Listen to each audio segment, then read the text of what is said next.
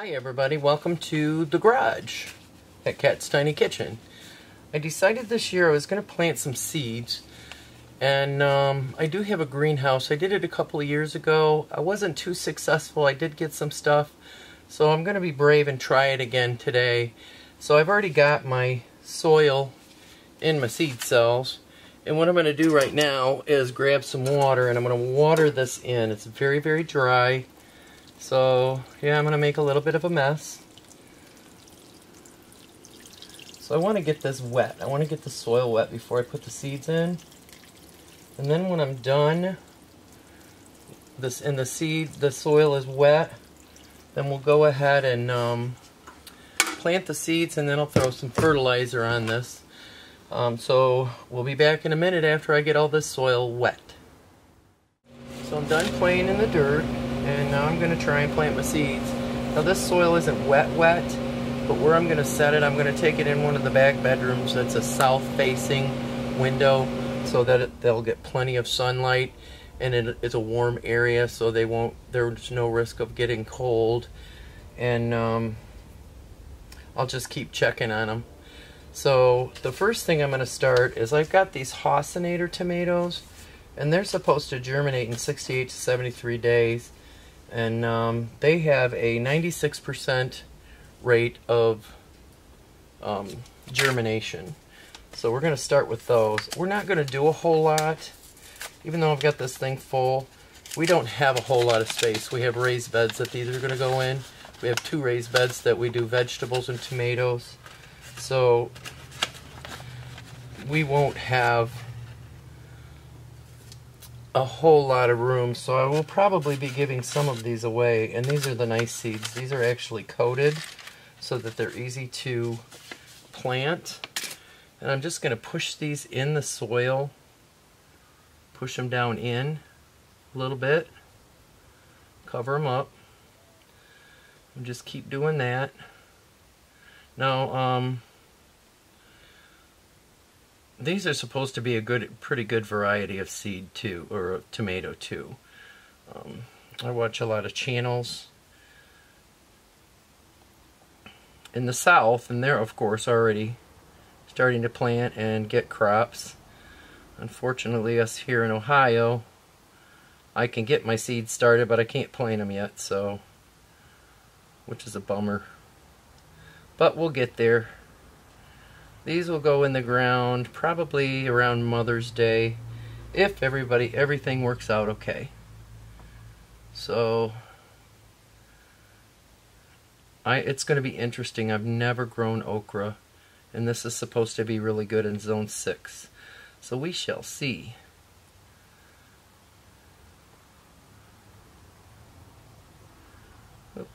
One seed short. Get out of my fingernail. So, so bury those bad boys. And that's it for that. So we're good. And they gave you this really handy, handy dandy. I, I can't get too close because it won't focus for you. But they gave me um, sticks to put in. So I know exactly what I've got here. Put it in this one. It's empty. And then the next one is called a Shelby tomato and there's only 10 seeds here. I don't think I have a stick in this one, no. But these are the, the nice coated seeds too. And um, get out of there.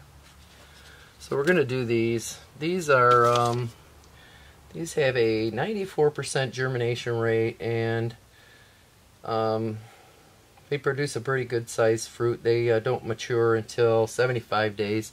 So these are going to be later tomatoes for us.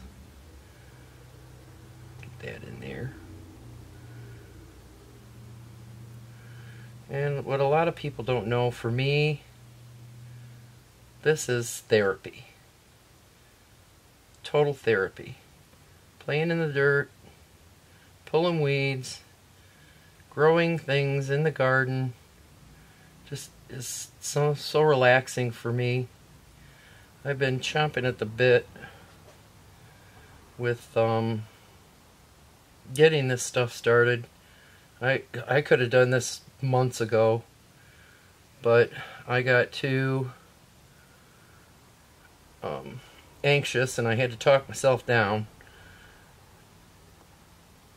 because you don't want your plants ready to go too soon because then they'll start they might start getting um, diseases and um, dying on you.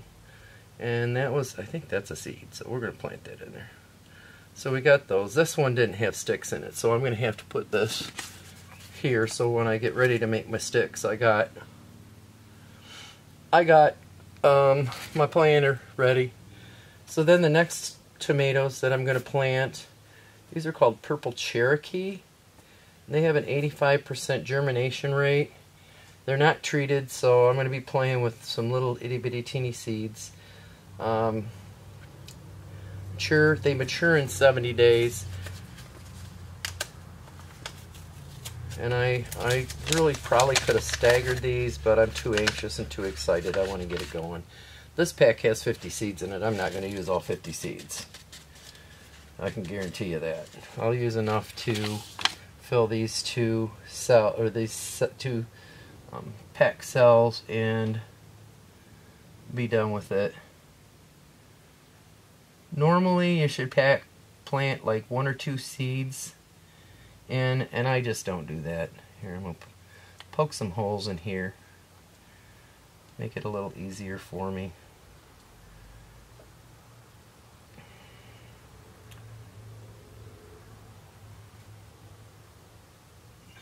Gotta get it in there. Alright.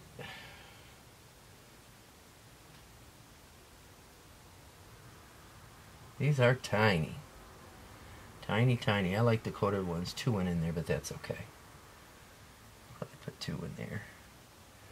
Might as well. I'm going to put two seeds in each cell so that if at least maybe one will germinate for me.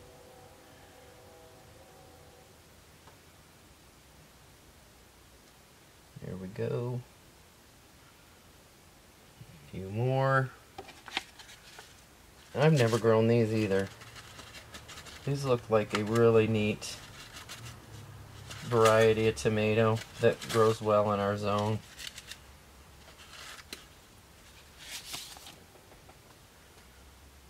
There's one. Okay.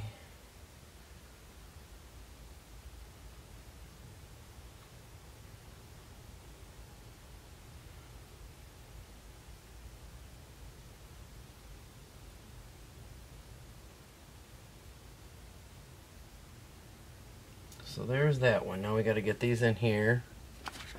Oh, in the water. Hope they don't germinate on me in there. I'll just pull them out and put them in a plastic bag. They'll be fine. So there you go. That's the next variety.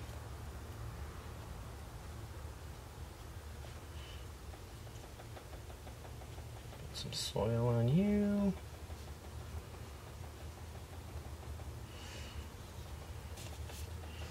Now, if I did this right, everything will be great. So the next two are the fun ones. Um, I got some Clemson Spineless Okra.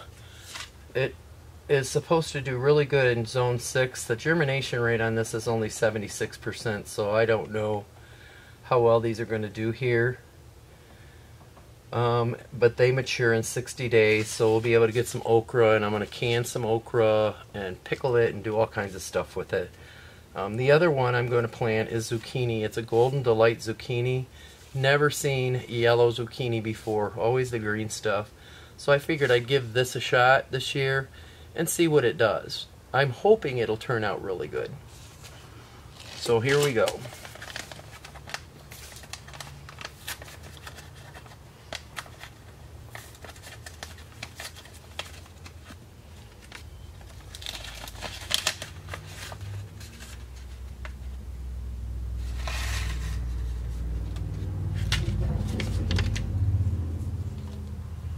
And I got to stick with these, so that was really cool.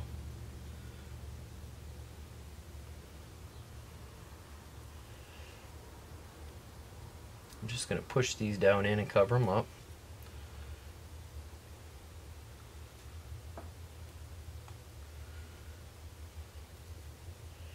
I'm learning all kinds of stuff with zucchini too that you can do with like breads and I actually make a fake apple pie every year during the holidays, mostly during the summer when the zucchini's in season. Um, it, it looks like a apple crisp. It really doesn't look like a pie, but it, it tastes so good. You would never know that it wasn't apples. Just the way you know science cooking works. It's pretty cool. And this actually is something that you can do with the kiddos. You get those little grandbabies that are excited to see soil and play in the dirt.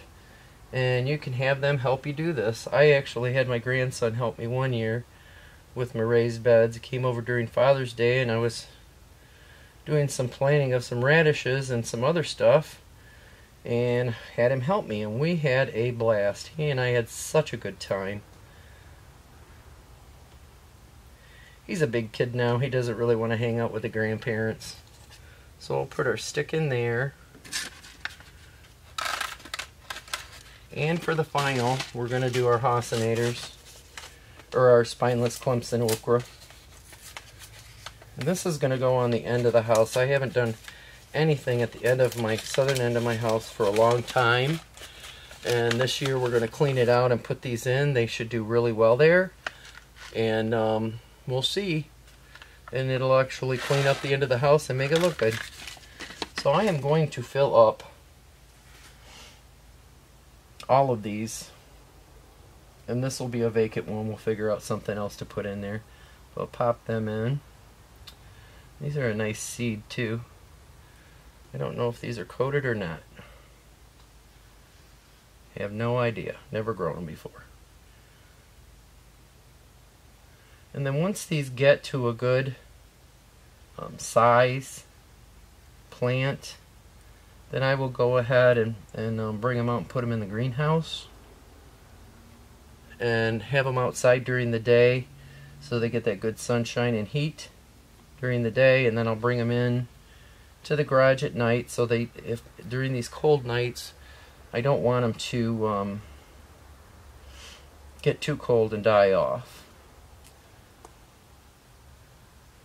but I wanted before I got stuff going I wanted to go ahead and um, get these seeds started for planting before I started any get get got the greenhouse out and started cleaning the beds. And here in a little bit we'll go out in the yard and walk around and you can see we've got a lot of work to do. Whole lot of work to do. So there's that. There's the spineless okra and that's all the seeds we're going to plant for now if everything works out right I hope we'll have you back for a video I don't know if I'll have to upplant them or not and what upplanting is is you once they germinate in here you actually take them out of these cells and put them in bigger pots to um, give the root systems a chance to grow. And um, Mike's probably going to kill me with that one. But anyway, that's it for the seed planting, and I'm so glad you came along. Hope this was um, informational for you, and we're on a journey together. So please do come back and check it out later. So as you can see, we have a whole lot of work to do. I've got that raised bed out there that we got to clean out and put more soil in. And then over here, we have another bed. This is going to have peppers in it this year. We'll buy those. We won't do anything with those. And then over here is my herb garden. And you can see I have some chives coming up. My thyme's doing pretty good. I have some thyme over here too. Um, it didn't do as good. And in that pot there, we usually try to do like cucumbers or something, but it doesn't, it gets too hot back there. So I don't think we're gonna do that. Then we gotta go through and weed all of the sides. And this is all gotta be cleaned off because it's a mess. And then over here in this area, we are going to till this up and plant hostas in here because this area here doesn't get much sunlight at all. So as we walk around and see all the stuff falling apart, we got some tulips coming up over here. And um, this is the south end of the house where I'm going to go ahead and plant some okra. We have iris coming up and a lone daffodil. And this will all be cleaned out and the okra is going to go in here. And then around to the front, needs even more work. We are going to have, I don't know yet, these are mums. I don't even know if they're going to come back on me. And then we got some pots up there. But in the bare spots here, as you can see, there's some remnants of canna lilies. I'm going to put canna lilies and some other different flower bulbs out here for the summer. And lilies, you can dig them up and use the rhizomes again the next year. I did try some from seed this year, but I don't know how well that's going to work out. So we got three areas up here that need some work. These I didn't even dig out. I had so many canna lilies that I didn't even need to dig them out. And um, and over here, I got to do some weeding. This is a project I did last year I did a little bit of a walkway and then up on either side of the breezeway door I put pavers in. There was soil there and it really got weedy and it is weedy now. So I put the pavers in. We'll blow all the leaves out of here clean the pavers off and I'll get the Roundup out and kill all the weeds. And that's what I plan on doing on the, the south side of the house is later on today I'm going to take some Roundup out there and I'm going to round everything up and by the time it's time to plant everything will be cleaned up. So there you have it folks. Now we have some pots out here that um, we had tomatoes and flowers in last year. We might do that again this year. I don't know.